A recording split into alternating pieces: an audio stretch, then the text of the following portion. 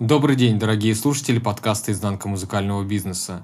Рад приветствовать вас в первом выпуске второго сезона. Меня зовут Виталий Хвалеев.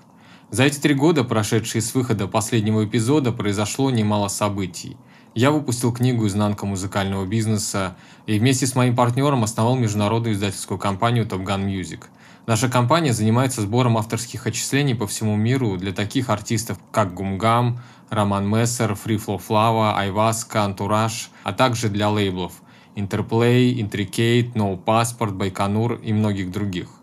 В новом сезоне подкаста «Изнанка музыкального бизнеса» вас ждут интересные беседы с музыкантами и интервью с различными экспертами музыкальной индустрии, владельцами лейблов и менеджерами, представителями маркетинговых агентств и букинг-агентами. Гостем сегодняшнего выпуска станет Павел Ивлев, владелец и основатель тех-хаус лейбла «Байконур Recordings». Мы поговорим о том, как управлять лейблом в современных реалиях, что может предложить лейбл артисту в эпоху, когда любой музыкант способен самостоятельно размещать свои треки на музыкальных площадках. Ну и в целом поговорим о звукозаписывающей индустрии. Привет, Павел. Привет. А, спасибо, что пригласил. Для меня это честь. Приветствую всех слушателей. Доброго вам времени суток, где бы вы сейчас ни находились. Спасибо, Паша. Итак, первый вопрос. Расскажи подробнее, как появился лейбл «Байконур», это долгая история эволюции моей любознательности. То есть изначально не было какого-то плана или какой-то цели создать успешный лейбл или кому-то что-то доказать. Как и многие лейбл-ловнеры или продюсеры, я начал свое знакомство с танцевальной музыкой как диджей. Это было начало нулевых, и тогда основной ценностью у диджеев была новая музыка. Ее все по-разному доставали, кто-то через знакомых, там, через друзей, кто-то покупал даже DVD-диски, было у нас такое. И меня всегда интересовало, а что является первоисточником? Откуда вся эта музыка появляется? Наверняка ведь есть какой-то цивилизованный один ресурс, сайт в интернете, где это все происходит.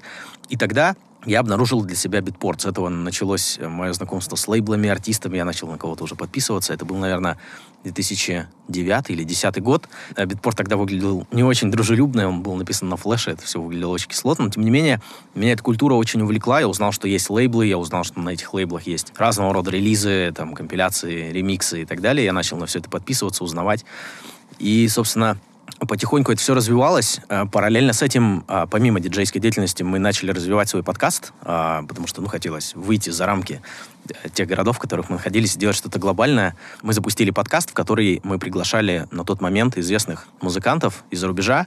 Это были такие имена, как, например, э, Анджело Феррери, известный хаус-музыкант итальянский, ребята Art Slaves, которые э, сейчас владеют лейблом Moan, тоже очень известным в deep tech тусовке. Это Ральф Кольман и Джуниор Родригес с лейбла Mobilee. Это техноикона Веба, это испанец Вейд и многие-многие другие имена. Э, с ними мы общались, э, делали интервью, гостевые миксы, спрашивали их о том, как они занимаются продвижением и продакшеном своей музыки и потихоньку налаживали какой-то комьюнити, какие-то связи, ребята присылали нам промо, мы отправляли им какие-то треки, которые сами тогда пытались сделать. И так потихонечку мы начали понимать, что у нас, в принципе, есть все для того, чтобы э, запускать свой лейбл. То есть изначально это был такой интерес э, понять все эти внутренние механики, посмотреть, как музыка доставляется на битпорт, как работает дистрибьюция, как работает промо и так далее. А сколько человек работает на лейбле сейчас? Ты один ведешь лейбл или у тебя есть э, команда? В данный момент на лейбле работаю я. А, мои основные компетенции — это все, что касается маркетинга и стратегического планирования, а также все, что касается студийной работы, это мастеринг, сведение, потому что это то ремесло, которому я обучался в университете. А, помимо меня на лейбле работает Евгений, он занимается A&R-менеджментом, общается с артистами, подыскивает ремиксеров, а, все, что касается музыки и репертуара. Помимо этого, у нас в команде есть Михаил, владелец лейбла Полиптик. Мы с ним работаем по бартеру, то есть я помогаю ему с тем, что касается технической работы по его релизам, мастеринг, сведения там, где это требуется. А он для меня закрывает вопросы, связанные с паблисти. То есть это промо, это налаживание взаимоотношений с разными инфлюенсерами, с э, блогами, с премьерами и все, что касается а, вот этой работы по продвижению релиза. Помимо этого есть э, сотрудники, которых мы привлекаем э, для какой-то конкретной работы разовой, будь то создание каких-то скриптов, потому что мы используем очень много автоматизации в своей работе. Это дизайнер, который делает для нас э, темплейты для всей истории, которую мы публикуем в социальных сетях. Кроме того, к счастью, вокруг нашего лейбла сформировалось большое количество неравнодушных людей. В частности, у нас есть Майк, у которого очень крупное радиошоу, транслирующееся на большом количестве радиостанций онлайн и офлайн. И он часто просит нас а, связать его с нашими артистами, релизы которых ему понравились. И он делает с ними так называемые тейк-оверы. То есть а, он приглашает их, берет у них интервью, гостевые миксы. Это постоянно происходит. А, просто вот а, потому, что ему нравится музыка, которую мы выпускаем. Есть еще а, человек, с которым мы планируем начать наше радиошоу. А, он живет в Америке, и он тоже один из тех, кому нравится музыка, которую мы выпускаем. Поэтому постоянная часть команды, ядро команды — это трое, а все остальные — это фрилансеры и люди, которым наш лейбл не безразличен. Павел, а сколько релизов на данный момент выпустил лейбл Bacano Recordings за все время своего существования? И каковы ваши принципы отбора артистов для сотрудничества? Открыты ли вы к работе с начинающими, малоизвестными музыкантами или предпочитаете издавать только успешных состоявшихся артистов уже с устоявшейся аудиторией? А, ну, как может быть понятно, название Байконур Recordings и его идентика, я имею в виду сейчас наше лого, на котором изображена ракета, из сопла которой а, вылетают ноты. То есть ракета, движимая музыкой. Так вот, все это произрастает от одноименного названия космодрома Байконур, с которого был запущен первый человек э, в космос. Юрий Алексеевич Гагарин, как известно. Наша миссия, она в чем-то схожа. Для нас основной драйв — это запуск на музыкальную орбиту и в музыкальные чарты музыкантов, чьи имена там доселе не были замечены. И для меня это особая эйфория, когда артист буквально там с пятью или семью релизами до нас э, попадает в топ-чарты, его играют диджеи по всему миру. Для меня это э, особый кайф, особый драйв. Мы стараемся держать баланс, потому что на одних новичках э, лейбл расти не может, и мы стараемся привлекать и известные имена, и известных ремиксеров, и разбавлять какие-то компиляции для того, чтобы обменивать артистов аудиторией. Что касается количества релизов, на данный момент оно перевалило за четыре сотни сотни, и мы пока не собираемся останавливаться. А расскажи подробнее о стратегии продвижения релизов на лейбле. На какую площадку вы делаете больше акцент? А если это Beatport, например, то расскажи, а какие инструменты продвижения вы используете? Для нас основная площадка — это Beatport, потому что я считаю, что музыка танцевальная, музыка клубная и tech house, которым в частности мы занимаемся, полностью раскрывает свою художественную ценность именно в тот момент, когда он звучит на большой акустике, в помещении, в котором одновременно танцует большое количество людей, где присутствует какое-то световизуальное шоу. Это все создает совершенно иной уровень восприятия этой музыки, нежели просто прослушивание в AirPods во время похода в зал или там во время приготовления ужина. Поэтому наша основная задача сделать так, чтобы эта музыка звучала на танцполах. И э, диджей — это наша основная целевая аудитория. Поэтому битпорт, как площадка, на которой эти диджеи приобретают музыку, наша основная целевая площадка. Что касается э, стратегий продвижения релизов, то есть целей, которые мы ставим в долгосрок, в первую очередь это создание лояльной фанатской базы и создание узнаваемости бренда. Потому что если ставить перед собой целью продвижения одного конкретного релиза, то есть э, в, в отрыве от бренда, и ставить перед собой желание сделать так, чтобы этот релиз набрал какое-то количество прослушиваний в Spotify или там попал на какую-то определенную позицию в топе битпорта, то, на мой взгляд, это всегда будет провально в плане инвестиций. То есть в маркетинге есть такая метрика, которая называется ROI, Rate of Investments. То есть соотношение денежек вложенных на денежки э, вырученные. И если мы не создаем долгосрочную историю, если у нас нет так называемых die-hard фенов, которые э, следят за лейблом, участвуют э, в каких-то коллаборациях, конкурсах, ремиксов, взаимодействуют там с соцсетями и приобретают все последующие релизы,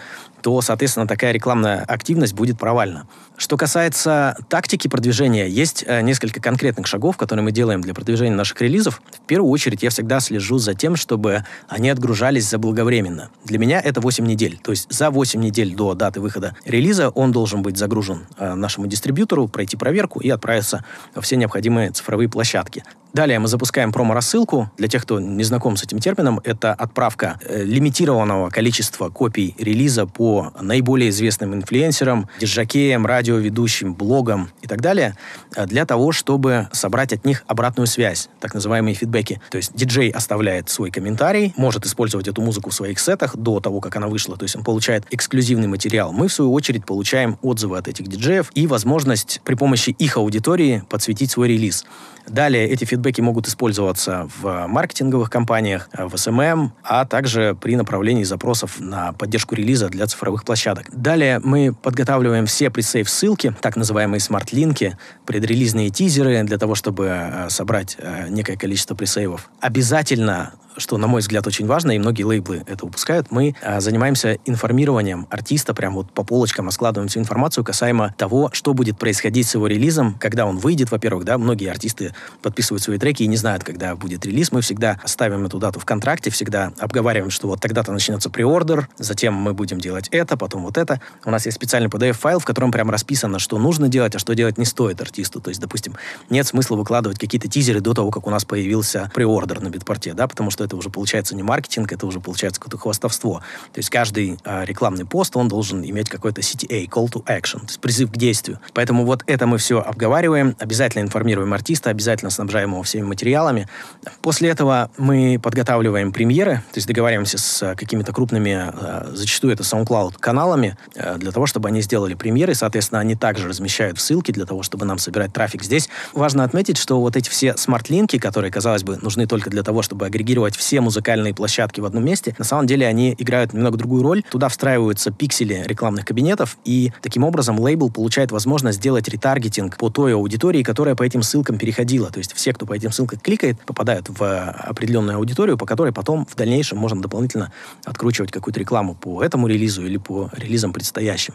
Тоже очень важная механика. А после того, как мы собрали первые фидбэки, после того, как у нас есть э, согласованные уже даты премьер, мы отправляем запрос э, в Bitport и Spotify для того, чтобы э, наш релиз был поддержан. После выхода релиза мы размещаем всевозможный контент во всех соцсетях, вставляем везде, где только можно ссылки на релиз, стараемся максимально всю эту историю раскручивать, в частности, делаем коллаб-посты и помогаем артисту сделать свой чарт на битпорт. С одной стороны, это дополнительный инфоповод для того, чтобы подсветить релиз. С другой стороны, на битпорте существует отдельная форма для запроса поддержки чарта артиста. Если этот артист более-менее видный, мы получаем возможность его чарт разместить на главной странице в жанре. Кроме того, иногда случалось так, что при поддержке чарта Bitport поддерживал и сам релиз. То есть у нас появляется дополнительная возможность а, сделать такой запрос.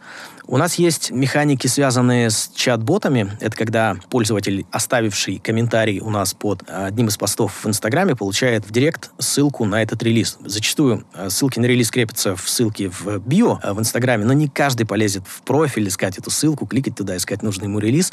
А здесь человек оставляет комментарий, и ему в директ падает очень дружелюбное сообщение. Спасибо, что поддержал нашу музыку. Вот, пожалуйста, по этой ссылочке можешь пройти и а, свою копию получить или на битпорте, или, соответственно, добавить ее в свой плейлист на Spotify. Еще интересный момент — это антипиратская защита. Многие это упускают, а некоторые даже думают, что, наоборот, пираты помогают распространять и популяризировать вашу музыку. К сожалению, это не так. Большинство людей все-таки пользуются битпортом, а, цивилизованных, так скажем. И попадание в топ-чарт на битпорте, оно существенно увеличивает количество органического интереса к вашему релизу, поэтому если сосредоточиться на битпорте и если удалить все пиратские заливы, то шанс на то, что ваш а, релиз получит внимание от широкой аудитории, а, такой шанс увеличивается. Поэтому мы используем антипиратскую защиту, мы перепробовали вообще все, что было на рынке, и сейчас остановились на сервисе, который называется Leak Delete. Они занимаются тем, что удаляют нелегально загруженные копии из таких сервисов, как ZPShare, FileCat и прочие файлообменники из различных блогов и так далее. К тому же они отправляют так называемые а, страйки в Google для того, чтобы убрать из поисковой выдачи все нелегальные упоминания и загрузки вашего трека. Таким образом, люди, которые в поиске набивают название вашего релиза, попадают на Bitport, на Spotify и на другие площадки, которые распространяют музыку легально. Помимо этого существует пост-релиз маркетинг. А, для этого мы используем сервисы наподобие SongStats, которые позволяют анализировать, а что же с треком происходит. То есть, если он попал в какой-то плейлист к известному диджею, мы это увидим. Сейчас SongStats позволяет э, также анализировать AirPlay, то есть попадание на радио. Вот всю эту информацию мы аккумулируем, выкладываем посты о том, что этот трек попал в такой-то чарт, этот трек попал в такой-то сет. Это все помогает, а, с одной стороны, привлечь дополнительное внимание к релизу, с другой стороны, это показывает тем артистам, которые думают о том, стоит ли свое демо отправить на Байконур, понять, что этот лейбл работает, что вот вокруг той музыки, которую этот лейбл выпускает, э, есть какая-то история. Ну и, наверное, последнее, что касается продвижения, это сбор аналитики. Я вообще большой фанат аналитики, я слежу за всеми цифрами, я всегда фиксирую количество фолловеров на битпорте, каждый месяц смотрю, как оно растет от релиза к релизу. Мы собираем информацию от нашего дистрибьютора, я простраиваю графики, смотрю, какие страны, какие есть перекосы. Допустим, если нас в условной Норвегии очень хорошо стримят, но мы там плохо продаемся по битпорту, значит, надо немножко подкрутить нашу рекламную активность. Резюмируя, наша основная задача — сделать так, чтобы вокруг бренда Байконур Recordings сформировалась лояльность лояльная аудитория, для которой мы будем узнаваемы и которая будет э, понимать нашу идентику и взаимодействовать с нами в долгосрок. Для этого мы выходим за рамки просто продвижения релизов, делаем конкурсы ремиксов, делаем конкурсы миксов, сотрудничаем с разными брендами диджейскими, в том числе мы делали коллаборации с Mixcloud официально, э, делали их э, площадке конкурс, э, сотрудничали с брендами такими как э, Ultimate DJ Gear, которые делают для диджеев разного рода сумки для переноски там наушников, контроллеров и так далее. Э, делали коллабы с такими брендами, как DJ Tech Tools. Это известный блог, который помимо информации и обучения еще делает всякие кастомные ручки, крутилочки и проводочки. Поэтому цифры стримов, попадание в топ-чарты — это все э, результат, но не самоцель для нас. Ну, отлично. Ответил сразу на все вопросы, под вопросы, которые э, планировал задать. Расскажи еще о Spotify. А, ну, как ты относишься к Spotify? Э, Планируешь ли ты делать собственные плейлисты? И я знаю, что сейчас это прозвучит немножко странно, но Spotify не является для нас значимой площадкой. Как я уже говорил ранее, наша целевая аудитория — это диджакей и, соответственно, битпорт. Да, безусловно, любой современный человек э, наверняка имеет подписку на какой-то стриминг, и среди пользователей Spotify наверняка есть большое количество диджакеев, поэтому мы, безусловно, доставляем туда свои релизы, причем делаем это в специальном формате. Э, все наши треки на Spotify сразу начинаются с хука, то есть мы удаляем вот эту скучную часть, которая называется DJ-интро, потому что слушатель, которому предстоит послушать там полторы минуты сухого монотонного барабанного э, лупа, скорее всего, трек скипнет. А когда трек скипывает, он, соответственно, падает в глазах алгоритмов Spotify. Для меня а, проблема со Spotify заключается в том, что способ взаимодействия с музыкой на этой площадке, он кардинально отличается от того, как это происходит на битпорт. В английском языке есть очень хороший глагол, который это описывает, to dig, копать. Когда человек находится на битпорт, он переходит по лейблам, по артистам, смотрит, кто был ремиксер, а где этот ремиксер издавался, то есть он в процессе поиска, в процессе какого-то познания, э, в процессе знакомства с музыкой. А что касается Spotify, это чаще всего прослушивание в фоне, то есть включаем какой-то плейлистик, убираем телефон в карман и занимаемся своими делами. Артисты, которые занимались продвижением через размещение своей музыки в плейлистах, э, наверное, знают о том, что даже супер большой плейлист, в котором там тысячи подписчиков, если он размещает ваш трек, то количество какого-то ажиотажа, количество прироста аудитории на вашей страничке артиста, оно там ну, минимально. В обратную сторону это работает совершенно иначе. То есть, когда трек попадает в топ битпорта или его играет какой-то известный диджей на большом фестивале, э, сразу же в Spotify вокруг этого трека начинается шумиха. Но наоборот, не было никогда за всю нашу историю. Треки попадали там и в плейлисты суперизвестных, огромных артистов, и в кураторские плейлисты, и даже были в топе в, по странам, если не ошибаюсь, в Бразилии. И при этом не происходило ничего. Ни каких-то проигрываний в фестивалях, ни какого-то всплеска активности в битпорте. У нас не возникал всплеск подписчиков э, в наших соцсетях. Чтобы подтвердить свою гипотезу, приведу просто пару простых цифр. Суммарное количество подписчиков на нашем профиле в Spotify и вокруг всех наших плейлистов э, что-то там, наверное, в районе полутора тысяч всего. Однако суммарное количество подписчиков у плейлистов, в которые добавлены наши треки на Spotify, близится к 9 миллионам. То есть, делая ставку на продвижение бренда, на создание лояльной аудитории, получается вот такая история. То есть о нас люди знают, они добавляют нас в какие-то плейлисты, каждый новый релиз куда-то уходит, поэтому это гораздо важнее, чем фокусироваться, на мой взгляд, на каком-то конкретном треке, на каком-то конкретном количестве стримов под этим треком. Лояльная фанбаза — это наше все. Что касается плейлистов, да, они у нас есть. Есть основной плейлист, в котором собраны все релизы Байконур Recordings, соответственно, он обновляется каждую пятницу. Помимо этого есть плейлист алгоритмический из э, топ-25 треков, наиболее популярных на площадке Spotify, это все делается автоматически. Ну, соответственно, из нашего каталога, из нашего лейбла. Сейчас мы будем запускать э, свой плейлист, в котором будут треки и других авторов, потому что, ну, любой уважающий себя бренд такой плейлист имеет, и мы тоже не должны отставать. Через какого дистрибьютора а, лейбл Баканур а, издает свои релизы в настоящее время? Каковы, на твой взгляд, основные плюсы и минусы работы с выбранным дистрибьютором? А, ну, мы, как и многие, наверное, лейбл-овнеры, начали свое путешествие в этот музыкальный мир с дистрибьютора Proton. А, на тот момент это был самый простой дистрибьютор, к которому было проще всего попасть. Однако даже они отвергли а, наш первый запрос, сказали, не, ребят, мы вас не возьмем. Мы тогда написали второе письмо, сопроводили его уже более детальной информацией, потому что мы были зеленые, не понимали, как это правильно делать с самого начала. И а, написали, что ну, у нас как бы есть какая-никакая фан-база, у нас есть подкаст, в нем были уже известные имена на тот момент, и а, у нас есть с ними связь, и мы понимаем, что мы будем делать, как мы будем делать, как мы будем продвигать. У нас уже есть музыка, у нас а, готовые отмастеренные треки, проверенные уже на танцполах, и у нас есть промопул, и есть люди, которые нам будут советовать, подсказывать о том, как все это продвигать. Со второй попытки они нас взяли. Э, какое-то время мы просуществовали на Протон, но потом начали смотреть, что есть на рынке еще, потому что хотелось расти. Протон на тот момент предлагал сплит 30 на 70, то есть 30% в их сторону, 70% на нашу. Плюс там были вопросы э, разные с контрактами. Ну, у них такая своеобразная система, не очень для нас удобная была. И мы начали смотреть, что есть на рынке еще. Наткнулись на американский дистрибьютор э, Symphonic Music, который на тот момент предлагал сплит 90 на 10 при одновременной уплате э, им 200 долларов при входе, что было для нас очень выгодно. К тому же у них на площадке были такие инструменты, как промо-рассылки, возможность заставлять рингтоны в магазины, которые это поддерживают, и очень интересная, гибкая и информативная статистика. Мы перенесли свой каталог к ним, просуществовали э, с ними, наверное, 3 или, может быть, 4 года. При этом в какой-то момент они переориентировались с лейблов на инди-артистов, то есть переняли такую модель э, CD Baby, TuneCore и подобных агрегаторов, и постепенно вот тот функционал, который они предлагали для лейблов, начал угасать и давать всякие разные технические сбои. В частности, у нас был момент, когда ныне известный э, в теххаусе артист Детлев написал нам e-mail, говорит, ребят, я очень люблю ваш лейбл, я постоянно играю ваши релизы, но ваша промо-система просто ужасная, я не могу скачать файлы, сделайте с этим что-нибудь. И были моменты, связанные э, с их системой конвертации контента. Дело в том, что э, в момент загрузки к ним аудиофайлов, они на тот момент, не знаю, как сейчас, они конвертировали их во флаг. То есть WAV-файлы конвертировались во флаг,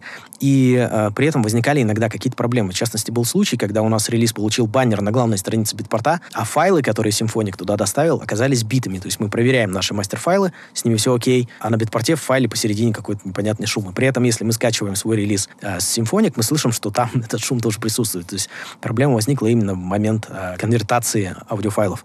Поэтому э, мы приняли решение, что нам надо куда-то двигаться еще, и, ну, конечно же, выбор пал на Labelworks как основной дистрибьютор для танцевальной музыки, в частности, хаус, tech house. Мы по сей день работаем с Labelworks. Ребята потрясающе быстро работают, их саппорт модерирует нам релизы буквально там за несколько часов, постоянно отвечают на имейлы, но мы стараемся тоже быть удобными клиентами, потому что мы очень тщательно проверяем, что мы загружаем на площадку, дважды, иногда трижды перепроверяем все метаданные, стараемся не писать им а, запросы в саппорт просто так. Мы понимаем, что мы экономим их время, мы должны быть для них а, выгодны. Из минусов, наверное, стоит отметить только то, что, как и все английское, наверное, они немножко чопорны, и их веб-сайт похож на сайты, которые мы посещали в 2000-х годах, то есть интерфейс реально устарел, однако э, все, что касается технической части загрузки релизов, отчетов, статистики, все супер классно работает. Они обещают, что они выкатят апдейты, что интерфейс будет э, более дружелюбным, но я думаю, что задержка связана с тем, что они пытаются отточить все до идеала. Используешь ли ты музыкальную платформу Bandcamp для продажи релизов? А для тех, кто не знает, Bandcamp — это музыкальный сервис, с помощью которого артисты и лейблы могут самостоятельно, не прибегая э, к помощи дистрибьюторов, продавать свои релизы. А, да, у нас есть страничка на Bandcamp. В самом начале творческого пути нашего лейбла я загружал туда релизы. Статистика была очень плачевна. Я уже повесил руки, но мой товарищ Евгений сказал мне очень хорошую фразу, говорит, слушай, ну есть же закон сеяния и жатвы, чем больше ты посеешь, тем больше однажды ты пожнешь. Я прислушался к его словам, залил туда очередную пачку релизов, догнал все, что у нас там вышло, и в какой-то момент, буквально спустя несколько дней после этого разговора, какой-то человек выкупил у нас там весь каталог лейбла. На тот момент это было, наверное, 200 или 250 релизов. Там при единовременной покупке действует скидка, но тем не менее это был прям весомый вклад, и эти деньги пошли на развитие лейбла. Это было очень весомо, очень ощутимо. Я несколько раз сам, как э, покупатель, приобретал музыку на Bandcamp. Это ужасно сложный процесс. Э, очень неудобно там все это сделано. И в целом, в общем, э, эта площадка больше ориентирована на инди-музыкантов. Но, тем не менее, по опыту коллег я знаю и вижу, что на Bandcamp бывают очень хорошие продажи. И есть э, сообщество, допустим, в э, музыке в стиле электро, где очень активно э, люди приобретают музыку на этой площадке. Из, наверное, плюсов и фишек э, существует э, возможность оставить свой email э, человеку, который приобретает у вас треки. Соответственно, лейблы имеют доступы потом к этим базам имейлов и могут каким-то образом выстраивать взаимоотношения с а, теми, кто приобретал их музыку. Мы, в частности, используем эти имейлы для благодарности и отправляем каждому, кто приобрел наш релиз там, купоны на скидку, делаем квартальные конкурсы, допустим. Человек приобретает наш релиз, получает скидку, приобретает еще один, получает еще большую скидку. Ну, в принципе, те же механики, которые используются на битпорте. Это очень прикольно, и было бы классно, если бы другие платформы тоже использовали вот такие штуки, потому что на битпорте мы вообще никак не можем э, иметь возможности взаимодействовать с теми, кто на наш лейбл подписан и э, кто покупает наши релизы. Касаемо цифр, у нас э, не очень большие продажи, это может быть там несколько десятков э, треков проданных за месяц, в то время как на Битпорте это там от 25 до 40 треков в день в среднем. Интересно. А, расскажи, Паш, еще по поводу а, авторских отчислений. Собираете ли вы авторские отчисления и знаком ли ты с таким понятием, как паблишинг? Это тема, которая всегда для меня была очень сложна. Это была такая темная лошадка. Я пытался все это постичь, но это, это все нелинейно, на разных территориях разные условия. Там огромное количество этих прав.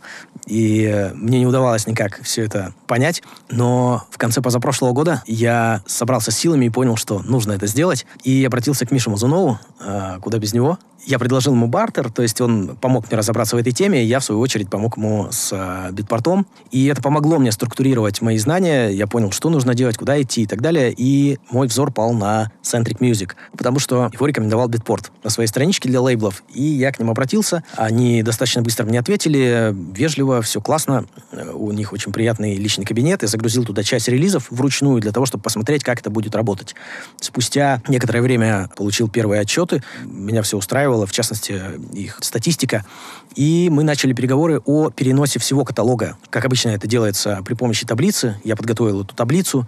Они перепроверили все контракты, попросили пруфы наших банковских счетов для того, чтобы убедиться, что мы это мы. И после этого начался очень долгий и мучительный процесс, потому что э, мы какое-то время общаемся с менеджером, менеджер нам обещает, что вот-вот все будет загружено, что они уже все проверили, все классно, и пропадает. Я пишу ему через две недели, пишу через месяц, тишина. Пишу в саппорт э, Centric, и они отвечают мне, ой, извините, а ваш менеджер уволился, и мы вообще там не в курсе ваших дел. Нам назначают нового менеджера, и ситуация повторяется. Молчание, я пишу какие-то warm-up ы, две недели, месяц, тишина. Я еще раз пишу в саппорт. А с третьей попытки нам дают прямой выход на человека, который тогда представился директором Centric Electronic, их отдела, который занимается непосредственно танцевальной музыкой. Он пообещал нам, что все будет сделано в супер кратчайшие сроки. Еще раз перепроверили все документы, все релизы, всю цепочку контрактов, банковские счета, и опять молчок. Спустя определенное количество вармапов он ответил мне, что, ребят, ну, вам, наверное, лучше поискать другого. У паблишера, причем не, не назвав никаких причин, я сказал, что мы готовы подождать, ну, нам просто надо понимать, что там происходит. При этом я всегда стараюсь быть вежливым и учитывать интересы человека на том конце цепочки имейлов, потому что я понимаю, что я должен быть для них выгоден, поэтому мы предоставляли всю историю там по airplay, по поддержкам нас на фестивалях, у нас есть и видео, и трек-листы, и различного рода другие пруфы. Но, тем не менее, вот такой ответ. Спустя какое-то время, и э, пообщавшись с коллегами, я попал на Тупкан, чему я, честно скажу, несказанно рад, потому что это совершенно другой вайп, это совершенно другой уровень общения. Я получил всю необходимую информацию, которой мне не хватало. Все было загружено очень быстро, просто и четко. Поэтому спасибо большое. Я надеюсь, что наше сотрудничество будет плодотворным для нас обоих. Спасибо, Паш. Ну, мы только начали работать, да. Отлично. Для меня здесь, э, если честно, самый интересный момент — это даже не выплаты, не роялтис, а статистика. Потому что из того небольшого количества релизов, которые я загрузил на Centric, я увидел очень интересные а, данные, которые показывают, что есть треки, которые не были популярны в стриминг-площадках или на битпорте, но их проигрывали на крупных радиостанциях, там, допустим, на BBC Radio One или на Kiss FM. И, соответственно, получив доступ к этим данным, видя географию этих релизов, понимая, что они э, имеют успех на тех или иных аудиториях, можно опять же скорректировать свою стратегию и получить более глубокий анализ того, что происходит с твоей музыкой после ее выхода. Ну да, как раз посмотрим, как э, будут отчитываться радиостанции, э, площадки, поэтому все это будет видно. А, расскажи теперь, э, пожалуйста, о немножко подробнее о том, как вы работаете с артистом, имеется в виду, сколько демо вы получаете в день или в неделю, как отбираются демо, в день или в неделю оценить сложно, потому что это количество постоянно варьируется в зависимости от того, например, какой день недели. А, ну, понятно, что на выходных демо приходит больше, потому что у людей просто есть свободное от работы от основное время, чтобы отправить эти демо. Или, допустим, если у нас а, есть какие-то успешные кейсы, допустим, наш трек попал а, в сет какому-то известному диджею на большой фестиваль, то, соответственно, количество демо увеличивается. Но в среднем в месяц это 400-450 а, имейлов, в каждом из которых, ну, где-то по одному треку, где-то EP шка 2-3 трека, где-то 5 или 8, или даже 10 треков. Это относительно небольшое количество по сравнению с тем, что приходит там на major лейблы, где такое количество может падать в сутки. Поэтому мы с этим объемом справляемся, и для меня очень важно, что наш ANR-менеджер отвечает на каждое письмо. Потому что я считаю неуважительным а, относиться к теплой аудитории, к аудитории, заинтересованной в твоем лейбле, аудитории, которая а, проявляет интерес и тратит время на то, чтобы отправить свое демо. Особенно приятно, когда они отправляют это персонализированно, hey, we can recordings и так далее. А, я считаю неправильным а, оставлять это все без ответа и игнорировать такие письма, поэтому мы слушаем и отвечаем на все, даже на то, что падает в спам-папку по какой-то причине, мы ее иногда проверяем и отвечаем на все имейлы. Чаще всего это копипаст, но тем не менее мы стараемся персонализировать. Мы выискиваем имя артиста на SoundCloud, например, и э, стараемся написать ответ персонализированно. Привет, Джон, спасибо, что отправил нам свои треки. К сожалению, нам они не подходят. И также мы предлагаем какие-то плюшки взамен. Ну, раз человек проявил к нам уважение, мы проявляем свое уважение а, к нему. Допустим, ты можешь оставить нам свой email, мы пришлем тебе 20 бесплатных треков от нашего лейбла. Спасибо, что проявил к нам интерес. Поэтому я считаю крайне важно давать обратную связь той аудитории, которая заинтересована в твоем бренде. Что касается непосредственного отбора демо, в первую очередь, конечно, мы руководствуемся качеством музыки и ее жанровой принадлежностью, чтобы это соответствовало видению э, нашего лейбла, но все-таки главенствующим является артист. Очень важно, чтобы за этой музыкой кто-то стоял, потому что э, в наше время музыку становится создавать все проще и проще. Существует э, большая плеяда сервисов, таких как, например, Splice или Loopcloud, где, оплатив подписку, пользователь получает доступ к бесконечному количеству очень качественных сэмплов, ланшотов, лупов, из которых можно составить трек в том или ином жанре. Плюс сейчас активно развивается искусственный интеллект, где уже скоро можно будет сделать клик-клик work done, то есть за пару кликов создать какую-то музыкальную конструкцию и ее использовать для того, чтобы потом создать трек. А, и к тому же есть сервисы, которые позволяют подтянуть сведения и мастеринг, если сетап артиста или его навыки не позволяют это сделать. То есть создать трек становится все проще и проще, но за треком должен кто-то стоять. Эту историю должен кто-то рассказывать. Поэтому мы обязательно смотрим на то, что происходит в соцсетях артиста, что происходит на его музыкальных страничках, там, Bitport, Spotify, если есть YouTube, SoundCloud. Здесь не идет речь о каких-то тысячах подписчиков и миллионах стримов. Самое главное, чтобы артист был активен, чтобы его странички были заполнены, чтобы он понимал, как вести себя в социальных сетях, чтобы у него был какой-то tone of voice. Это является очень важным. Э, в работе мы используем различные сервисы, такие как Vibrate, SongStats, BeatStats, Spot on Track, для того, чтобы оценивать, что происходит с релизами артиста, потому что соцсети и, и цифры в этих соцсетях накручиваются, а э, статистика по релизам дает более информативную и более понятную э, картину. Павел, давай затронем финансовую сторону. Насколько выгодно в современных реалиях владеть собственным лейблом, выпускающим электронную музыку? Как я уже сказал э, в начале нашего разговора, прибыль э, никогда не была для нас самоцелью. Лейбл для меня, в первую очередь, это было то, что сейчас принято называть э, pet project. То есть это проект, которым я готов заниматься за еду и вообще и без еды, и без сна, и без денег. То есть это что-то, что произрастает из души.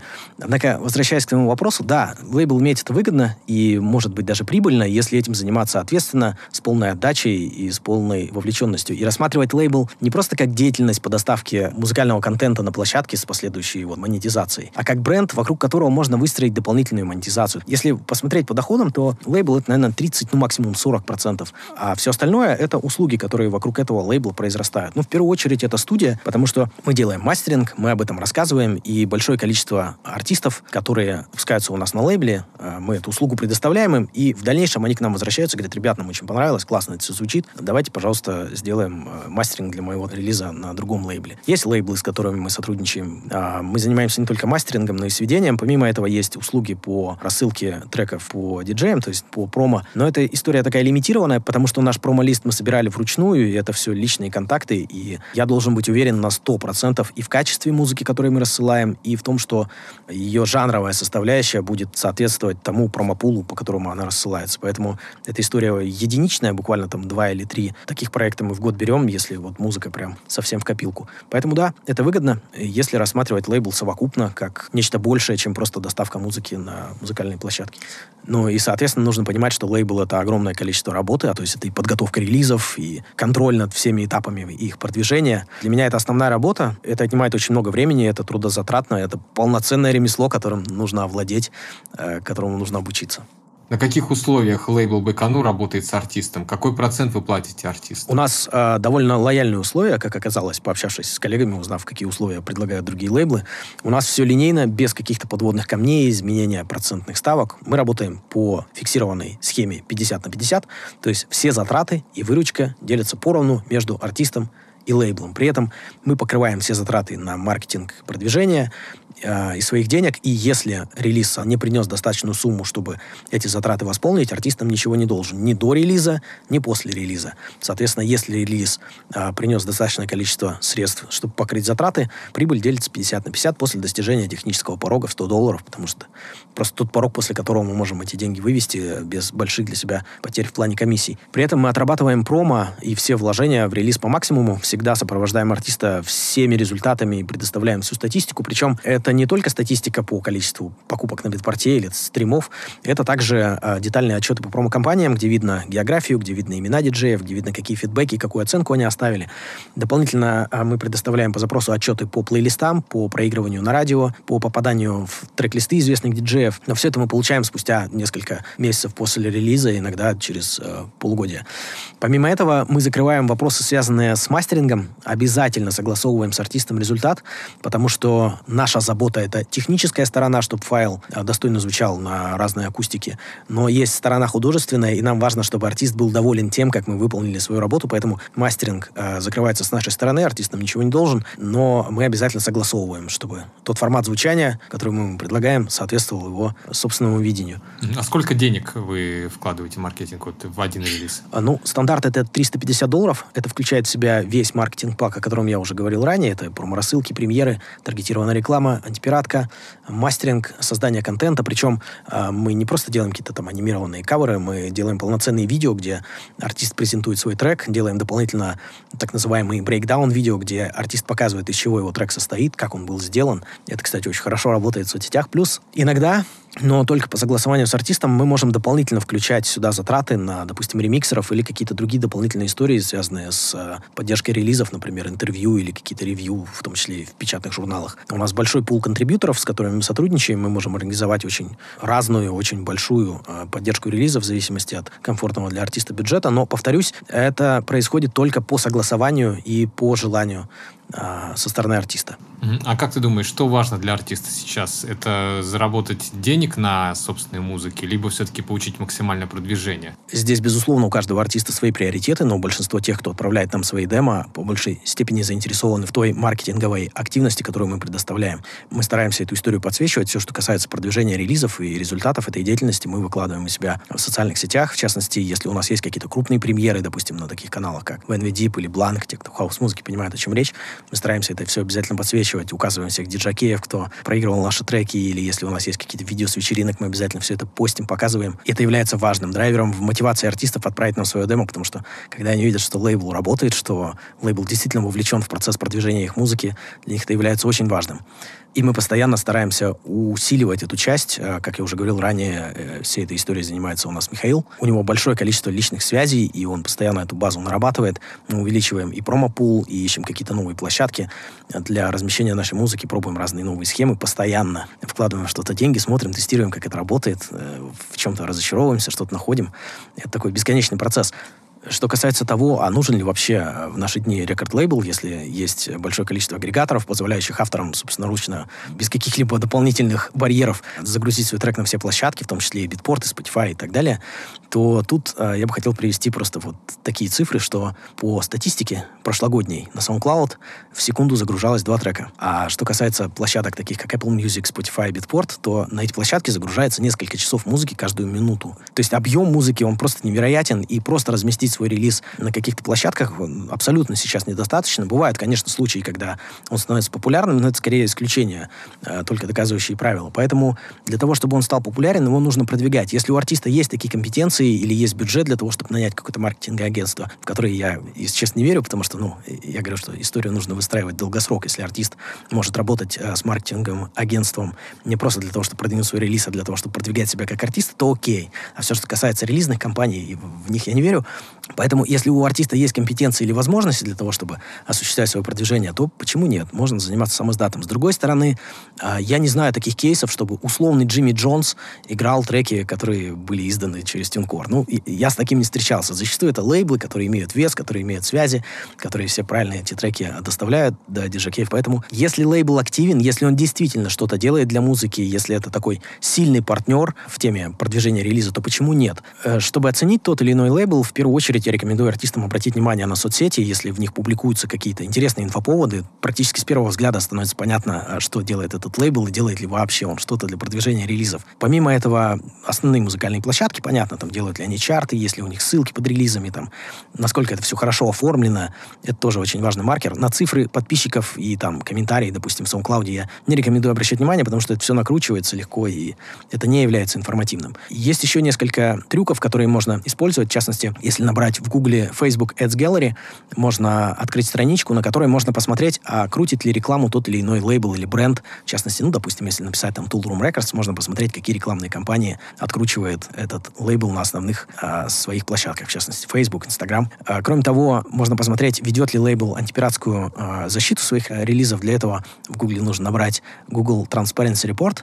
Там откроется страничка, на которой в поиске можно вбить название того или иного лейбла и посмотреть, кто для них осуществляет антипиратскую защиту и осуществляет ли вообще. Это тоже является очень важным маркером. А, расскажи, как начинающие артисты могут отправить свое демо а, на рассмотрение в Econo Recordings? И есть ли у лейбла специальная форма или электронный адрес, куда следует направить демо-материалы? Мы работаем по старинке, через электронную почту, а тем, кто хочет отправить свое демо на Байконур Recordings или на любой другой лейбл, я рекомендую в первую очередь послушать, какие релизы в данный момент выпускает тот или иной лейбл, потому что у вас может быть трек а, этого лейбла в коллекции, но он выпущен давно или в составе какой-то специальной компиляции. Допустим, у нас есть компиляции из Deep House треков из нашего бэк-каталога, и вы можете услышать один из таких треков и решить, что это хорошая идея отправить свой Deep House трек на Байконур Recordings. В то время как 90% релизов в настоящий момент, они выходят немножко в другом звучании. Поэтому прежде чем отправлять свою музыку, я рекомендую актуализировать свое понимание того, какой жанр выпускает лейбл в данный момент. Во-вторых, я не рекомендую пользоваться какими-то изощренными определенными методами отправлять свои треки в личку или пытаться достучаться до Овнера, потому что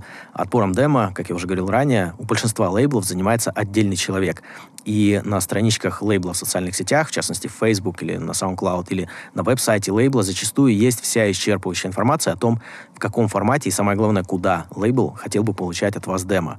В-третьих, очень важно э, грамотно составить само письмо, потому что это не просто отправка вашей музыки, это в своем роде резюме. Вряд ли кому-то придет в голову отправить резюме просто со своей фотографией и э, сопроводительным текстом в виде «Привет, хочу к вам на работу». Ну, такое резюме вряд ли сработает. Поэтому постарайтесь сопроводить ваше письмо как можно большим количеством релевантной для лейбла информации. Им не важно, сколько вам лет и из какой страны зачастую.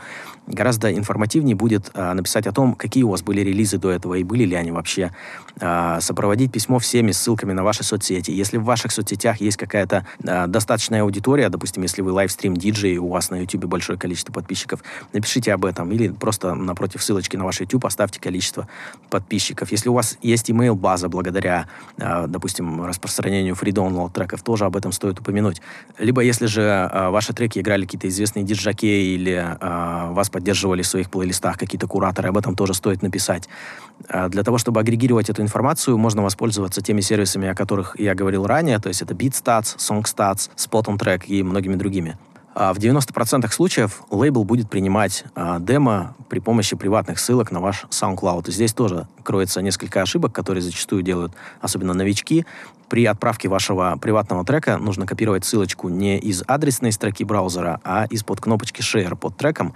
Если с этим возникают какие-то проблемы, просто задайте поисковый запрос в Гугле How to share SoundCloud Private Link, и в результатах выдачи будет ссылка на блог SoundCloud, где они подробно и с картинками объясняют, как это сделать, потому что примерно 10% работ, которые мы получаем ежемесячно, они имеют битые ссылки.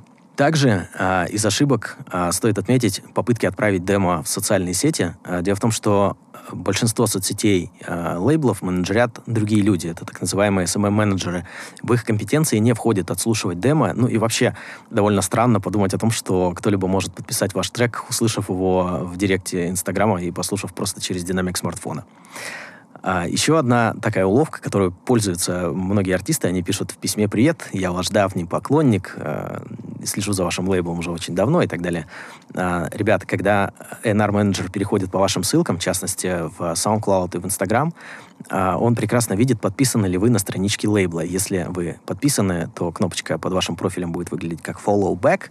Если не подписан, то просто как follow. И это выглядит довольно странно, когда человек явно не подписан на страничке лейбла и, и вообще его жанр не соответствует тому, что сейчас лейбл выпускает, поэтому я рекомендую либо не пользоваться такой конструкцией вообще, либо хотя бы подписаться на страничке лейбла, прежде чем вы отправляете э, ваше демо, это будет выглядеть более комплементарно. Павел, в завершении нашей беседы хотелось бы узнать о твоих планах по дальнейшему развитию Байконур э, Recordings. в ближайших планах э, закончить наш веб-сайт, на котором в первую очередь будет собрана вся информация о нашем лейбле, о нашем каталоге, о дополнительных возможностях и услугах, которые мы предоставляем артистам. Во-вторых, у меня есть давняя мечта запустить наши собственные сэмпл-паки. Они уже готовы, и на сайте для этого есть специальный раздел. Э, идея здесь заключается в том, что мы получаем большое количество демо, в котором есть очень классные идеи качественный продакшн, но не всегда тот саунд, который нам отправляют продюсеры, соответствует видению э, нашего лейбла. Поэтому вот в этих случаях мы хотим помочь продюсерам, предоставив им сэмпл-паки, которые очень точно подходят к звучанию нашего лейбла.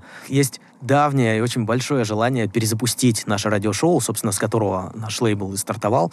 Для этого есть человек, он живет в США, он носитель языка, у него классный английский, у нас уже подготовлены джинглы, и, в принципе, все готово для того, чтобы начинать.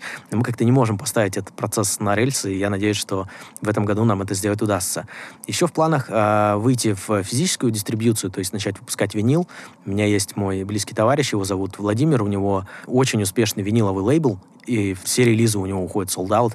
И сейчас я помогаю ему выйти в цифру и надеюсь, что в дальнейшем его компетенции можно будет использовать для того, чтобы часть релизов наиболее успешных Bacon Recordings также выпускать на виниловых пластинках. Ну а в целом общем держим руку на пульсе, потому что в данный момент э, на сайте BeatStats, который аккумулирует всю информацию о попаданиях треков в топ-чарты Beatport, мы находимся на восьмом месте среди всех лейблов э, в жанре Tech House Hype. И это значит, что наша стратегия работает, и э, вокруг лейбла уже сформировалась вовлеченная в его жизнь комьюнити. Поэтому следуем намеченному курсу и докручиваем функционал нашей стартовой площадки для музыкантов. Спасибо, Паша, за интересное интервью. Надеюсь, слушатели подкаста подчеркнули для себя много полезной информации. Всем пока. Услышимся в следующем выпуске.